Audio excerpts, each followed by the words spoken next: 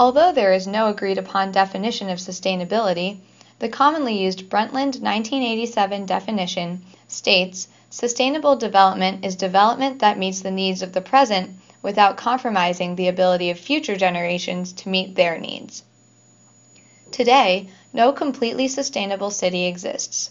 However, many are working to find ways to become sustainable.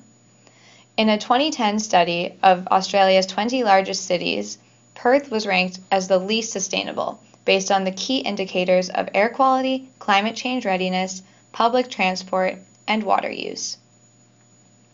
Since then, Perth has created a number of initiatives and programs that address this issue in the hopes of moving the city towards sustainability.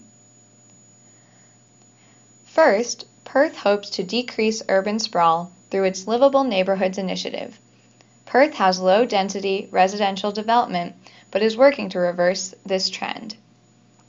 The goal of the LN Code initiative is to develop and apply sustainable development principles, such as clustered interconnected neighborhoods with superb walkability. Incorporating nature into the city will aid in this endeavor because people are more inclined to walk in an area with nature present. Reducing car use and encouraging walking would contribute to the development of healthier people and environmentally friendly behavior. Perth is also a part of the Western Australia Electric Vehicle Trial that launched in 2010 to demonstrate the potential for the use of electric vehicles. The trial provides information on the performance, environmental benefits, policies, infrastructure, and practical implications for the future use of electric vehicles in Western Australia. The City of Perth is eager to promote the usage of electric vehicles as an alternative mobility with minimal environmental consequences. The use of electric vehicles will greatly decrease air pollution and carbon dioxide emissions in Perth, bringing the city closer to sustainability.